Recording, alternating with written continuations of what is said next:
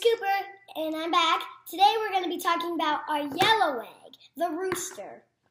But Peter began to invoke a curse on himself and to swear, I do not know this man of whom you speak. And immediately the rooster crowed a second time, and Peter remembered how Jesus had said to him, Before the rooster crows twice, you will deny me three times, and he broke down and wept.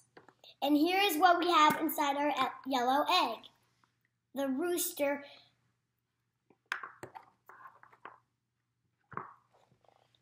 You may wonder what a rooster has to do with the Easter story. For Peter, one of the disciples of Jesus, the sound of a rooster's crowing triggered great sadness and caused him to cry. Here's what happened.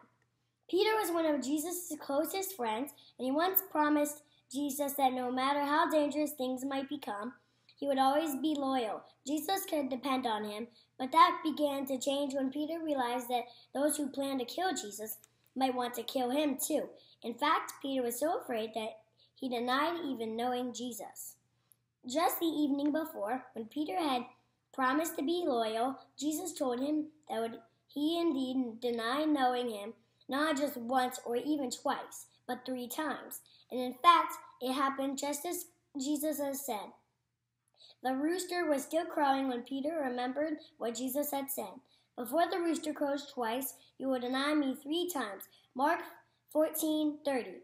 Peter was so ashamed that he ran away and cried. Here's a picture from my story. Peter running away and crying with the rooster.